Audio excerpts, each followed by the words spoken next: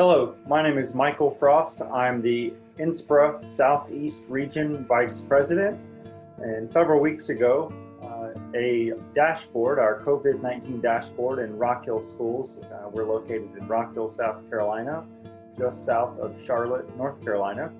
Uh, our COVID 19 dashboard was shared in the NSPRA This Week newsletter and other publications that many of us as NSPRA members receive or, or subscribe to. So um, there's also been discussion among the NSPRA Connect platform and other school PR groups uh, regarding how each of us is handling our effort within our communities to be trans both transparent, be informative, be accurate in our communication of COVID 19 cases among our students and our faculty and staff. The Rock Hill Schools dashboard, as I said, was shared. Uh, it created quite some conversation, and in order to help many of us, uh, I'm going to put together this quick video to share some behind the scenes of our dashboard and hopefully encourage you to explore Google Data Studio the same way I did uh, prior to creating our dashboard. I have to first pause and say that uh, I am not an expert. Uh, I attended uh, at the Washington, D.C. seminar, uh, which seems forever ago at this point, but uh, a year and a half ago, the NSPRA seminar that was held in Washington, D.C., I attended a breakout session in which one of our members shared about her use of using Data Studio to share social media statistics to her school board, uh, I believe it was, or at minimum, uh, provided a platform for her to measure and monitor data within her district and within her department. And so I felt at that time there would come a time and a place where I would need to explore, need to jump in at a deeper level. And lo and behold, uh, the worldwide pandemic provided that opportunity for me. So I'm happy to be able to share today uh, a little bit with you of what I've learned and how it has been a great benefit within our school community and our community at large, as well as providing a, a real-time tool to our local media to have the latest information without needing to contact us uh, for an interview or a phone call or or any other correspondence because we are putting it out there for them and for our public to see. Uh, so without any further ado, I'll just hop right in uh, and show you our show you our dashboard. And so here we go. Our dashboard, which has been shared, as I said, yeah, here it is. Uh, so from here, uh, this is the end product, of course, uh, and it has evolved uh, over time. But uh, in a summary, uh, this provides a very high level look at different data points within our district. We provide overall summary, and this is a cumulative summary here in the top left area. This is cumulative since our first day of school, which was September 8th. We then provide a cumulative summary in this table format by school. And again, this is cumulative since the first day of school. We provide information in the categories of student and staff isolation, student and staff quarantine, and student and staff who have tested positive. So we're tracking this at the school level, which then rolls up to the district-wide summary, and then across the bottom, we've provided this in a snapshot summary by elementary, middle, high, and high school levels, as well as our non-school sites. Uh, so our transportation center, our district office, etc., uh, would, would comprise the other district sites area. The top right is our newest element. Uh, now that we are into our third week of using this dashboard, we knew that it would need to evolve uh, and show more than just a overall cumulative. And so we are now showing a week at a glance. So this information in the green box uh, is illustrating our current new cases or new reported issues this week. And so the numbers in the green area are a subset of what you see on the left. So just this week, uh, we have had 21 students placed in isolation, six in quarantine, and two students testing positive this week. So next week, that information will, again, it rolls into the area on the left. This will then zero out on Saturday and we'll start again uh, on Monday morning with information for next week. And so that's the snapshot of what we're looking at here. Uh, the area in the bottom right is the piece that is not tied to uh, data that we control, but our South Carolina Department of Health and Environmental Control, so our state health department, provides information on a two-week uh, rolling uh, scale. And so we're using this as yet another data point in how we choose to return to our full operation of school. And so this area is updated once a week uh, with two-week rolling data from our state health department. So uh, we're, we're anxious and we're hopeful that each of these areas turns green at some point. Um, but right now we're in a medium, the yellow area, and then high and high. Uh, so that is, that is one piece of our data that we're using, and then certainly the rest of this table, um, information displayed shares at a greater detail information about our actual school communities and how we were, are using this to influence our decisions as we navigate this time together as a district with our members in our community of how and when we will return to a full five-day instruction. At current time, uh, we are offering a hybrid environment for our families. So where families, perhaps like many of you, have had an option to choose to go 100% uh, virtual for the school year or perhaps for the semester and then we've allowed others to attend in person, and they're attending on an A, B, A or B day schedule. So they're alternating A's and B's uh, in the classroom. So all data on here, uh, I share that about the virtual students because all the data on this uh, dashboard is only reflective of our in-person students um, with the idea and belief that students in our virtual environment are not mixing with others in an in-person setting.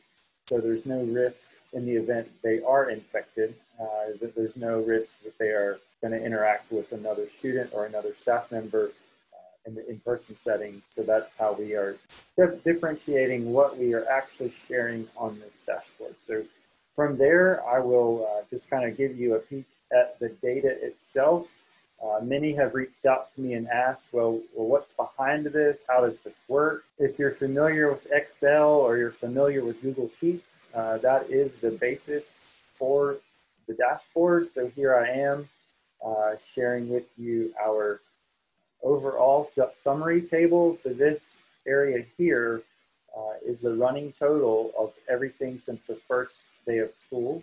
Uh, and then across the bottom, you'll see there's a series of tabs, and each tab uh, provides data to a different area of the dashboard. And again, as I said from the outset, I don't pretend to be an expert. I'm learning this along with you. Uh, and, and so there's likely a better way to do this, a more efficient way to do this, or perhaps it can all be done from a single sheet within Google Sheets. But uh, this is how I've set it up. This is what's working for us. And so at the bottom, we have a tab called current week. So as you would suspect, information entered here is pushed over to our uh, week at a glance area. Then we see the summary tables here. And this is all created through uh, using formulas to reference that original, the home sheet, the home uh, spreadsheet. So this is the elementary totals, middle school totals, high school totals, our district sites totals, and then we have the summaries. So this is just the full summary. And then we have the summaries uh, by percentage of our overall population, our student population and staff population. And so and then we have here, just as a reference for the formulas to work, this is our current student in-person population and then our total staff, uh, faculty and staff number. 2461. Our in-person population is 10,068. Uh, our district as a whole has about 17,000 students. Uh, so you can see we're at about a 60-40 split with our students in person versus virtual. So that is the quick uh, kind of behind the scenes of how it works, how the data is managed within a spreadsheet compared to how it's presented within the dashboard framework itself. So within with this step here, is it was it's nothing more than creating a spreadsheet uh, and labeling your spreadsheet and creating the table the way you want it to appear. Uh, and then I'll show you momentarily how we then connect it to uh, an element within the Google Studio State, excuse me, the Google Data Studio. So within Data Studio, um, this is what it looks like on the Data Studio side of things. So still it does look like uh, the public version. Um, we can see that we have the ability to uh, click on particular areas. So I've double clicked on the summary area. We'll see the different types of uh, charts and tables that we can create over here. We have to assign a data source. Uh, I'm going to start from scratch here in a second, but I just wanted to kind of show you how this kind of functions uh, before I do that. Um, and then we would, we would assign a data source. We could then use the metric area. So that's what elements of the selected data source do we want to present to the public through this uh, particular element. And then down here again, uh, the summary by school, uh, you can see that we have quite a bit that we're wanting to show. Uh, so we have each of the areas uh, that are available in the selected data source, we've got them present in what we're showing. Now, you could see on our, uh, previously when I had the actual spreadsheet up, that it was, uh, it's about 32 rows, I believe it is, because we have that many facilities. but here in the dashboard, I'm not showing the entire thing at one time. Uh, and that allows us to pack more into a smaller space so the dashboard can make better use of the real estate available. Uh, you can make multiple page dashboards, but uh, for this purpose, uh, I felt it was important to keep everything on, on one screen uh, so that folks did not have to navigate beyond what we're, what we're presenting to them here.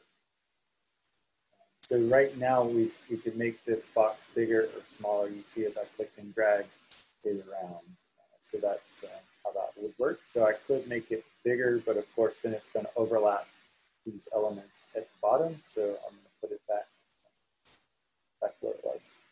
Uh, there's ability to just have text. Uh, so if you want to have description text or um, identifying text to describe what your what your end user is to be looking at or what they're to gain from this or what story you're trying to communicate through the data presented, uh, you're able to add a text element and just type text. Uh, you can see as well that the entire dashboard is able to be branded through your own color scheme and adding logos and, and whatnot uh, to, to the platform. So there's the, the oh, again, just staying pretty high level here. Um, I did do uh, some research and uh, I've taught myself a good bit through just YouTube videos and then the tutorials available from Data Studio itself uh, to get comfortable in navigating the platform and, and allowing my creativity and, and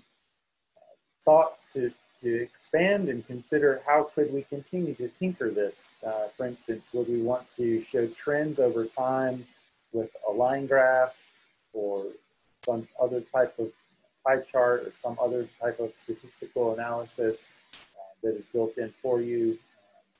But for what it's worth now, I have uh, elements that are called scorecard. So there's the scorecard at the top for students. There's the scorecard here for, for staff. Uh, and then there's another element scorecard and scorecard for the two areas that, the, that calculate the percentages. Uh, and then again, scorecard for the week at a glance for both students and staff. And then this is nothing more than a table. Uh, it looks like a table because it is a table. Uh, and then across the bottom, totals by different areas are also tables. So there's not much variety here. Uh, and that's okay. I mean, as I said, I'm not an expert, so this isn't going to have all the bells and whistles and flashy elements that you might see in some of the pre-designed templates that you can use as a starting space uh, within Data Studio. Uh, so this is, this is where we've started. This is what we have uh, evolved with over the last uh, few weeks. and we'll continue, as I learn more, we'll continue to make adjustments and, and change different elements on here. But like you, um, I am optimistic that, um, hopefully like you, I'm optimistic that COVID is, is uh, drawing to a close across our country uh, and that we can re restore normalcy at some point. It's been so long uh, that we maybe have forgotten what it is like to be normal, uh, especially in our school setting, but we are desperate for that. Um, so this dashboard provides a, a peek into and a peek behind the curtain for how our leadership here in Rock Hill Schools is using data to then guide our internal decision making and, conversations that we will then use at some point uh, to make the decision to return in person for all students uh, that wish to be uh, in person. So now I'm just going to kind of go over to a very the starting spot. So if you don't have a Data Studio account, it's free. Uh, it's datastudio.google.com. Uh, and so after you go there, uh, you have this is your, your starting space. So as I indicated, there's some very complex uh, reports that you can use as, as starting points or, or for, for inspiration as, uh, of how it can be used. Uh, and you can see that you know, this has elements where you can drop down and do different date ranges. That's an element that I'm very uh, curious to figure out uh, as we continue through this process. Uh, if this was the template you wanted to use, there's a button at the top right that says use template. Uh, and then you need to go through and connect your data sources. So your, uh, whether it's a, a, Google Sheet or, or some other web-based resource, you have to connect it uh, so that it's using your data, obviously, and not the sample uh, that's provided. Uh, one area that we're going to try to explore uh, in our district is using this to create social media dashboards. Uh, so this is an example here of YouTube views and statistics and analytics from your uh, particular example here of a YouTube channel. So in Rock Hill, we've, we've doubled down on our strategy to use YouTube as a video source beyond uh, what it had been used for the last couple of years. We had treated as more of an archive and storage space and, pumped more resource and energy into Facebook for video distribution. Uh, in this summer, we've had a change of heart, change of strategy, if you will. Um, and so we want to be able to measure. So this type of dashboard here uh, could allow us to quickly and, and easily measure differently than the available analytics inside of YouTube itself. So that's just a thought for beyond COVID, how this can, can work. Um, but uh, what we did here when we started is we clicked the plus sign and said blank report. So just like a publication, uh, just like uh, those of us I know, I'll speak for myself, but many others that, that do a lot of work within Canva, uh, you start with a blank slate or you start with a template. And so from here, uh, it's, it's basically saying where do you want your data to come from? Uh, so you can see there's quite a bit of uh, sources that are Google-based sources you can pull from, and then there's 272 additional platforms that you can connect to Data Studio. So I will stop there because I don't want to blow your mind with all that because that's, that's just overwhelming. So I'll stay here in the, the realm of Google Sheets. So I'll click Google Sheets. Um, I'm already connected to my Google account. So I could just say, all right, I'm going to use on my Google dashboard. So there we go. Um, I'm picking my dashboard here, and that that uh, sorry that works workbook or that worksheet has uh, multiple sheets in it. So then I want to use the home So I've now selected that, and now I'm going to say add that source. So I click the add button. Um, yes, it's just wanting me to confirm that I'm adding that source. So there it is. Um, there's at the very bare bones, basic. There it is. So as I said or showed earlier, you can resize elements. Um, if we want to add additional dimensions to it, that's what it's called, so different columns. I'd say I want to add the staff isolation number to it. Uh, I'm going to add these different dimensions to it. I just keep going right on down. You may want to reorganize the, the rows. Uh, columns. So you can click and drag these things around. I want the school to be at the top.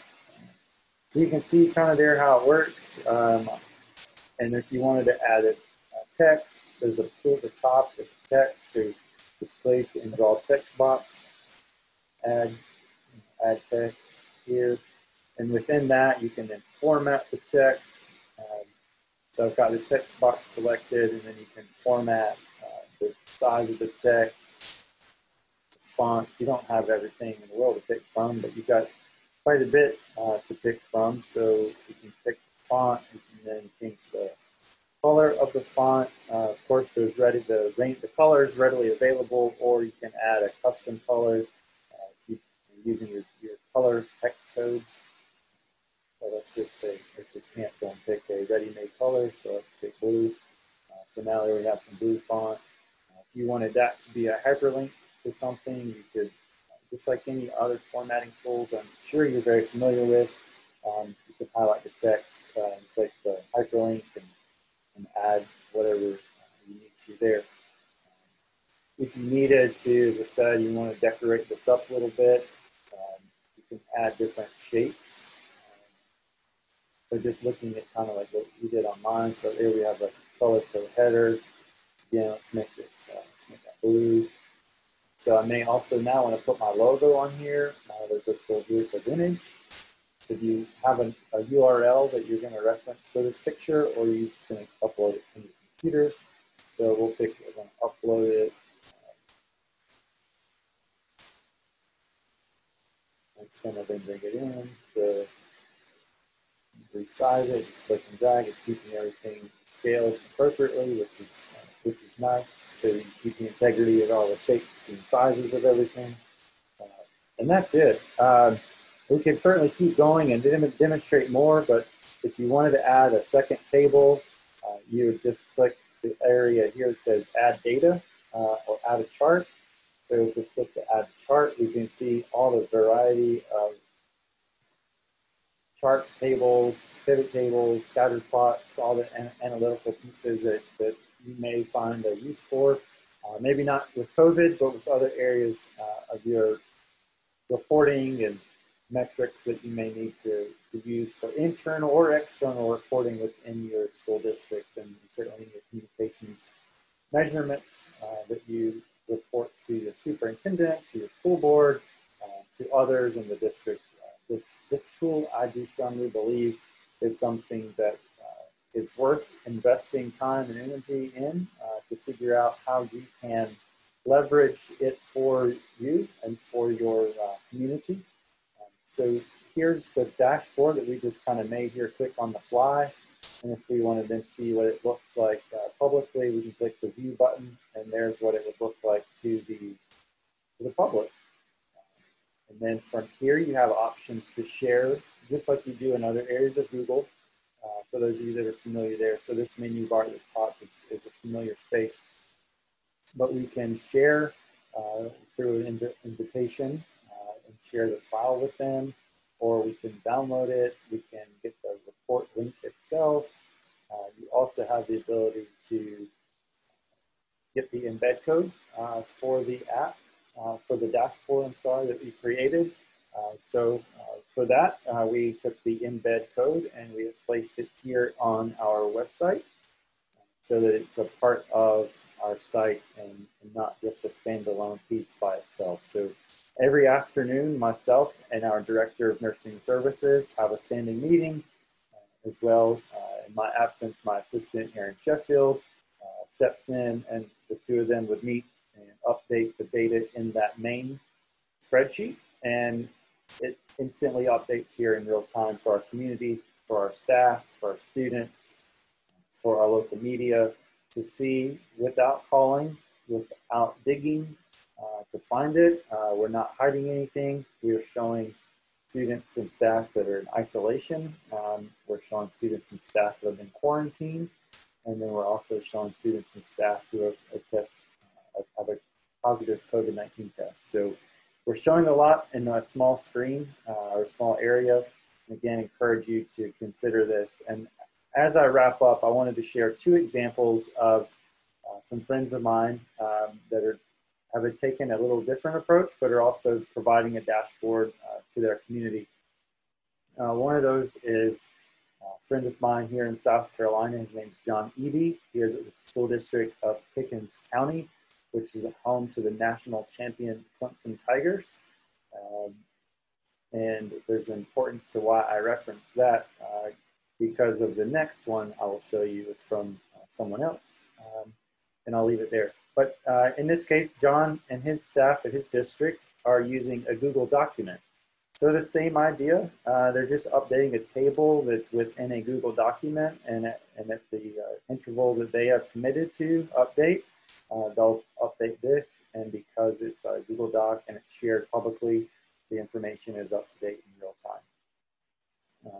And the last example, so I mentioned the Clemson Tigers, and so here's the home of the Alabama Crimson Tide, who lost uh, in the 2018 National Championship game to the Clemson Tigers. So this is the dashboard developed by our incoming uh, president-elect uh, for NSPRA, Leslie Brewington of the Tuscaloosa City Schools in Alabama. So you can see how she has taken a similar approach, uh, distilled the information a little differently, but this is also created within Data Studio and then embedded within their district's website. So again, um, this has not been, uh, I don't think, uh,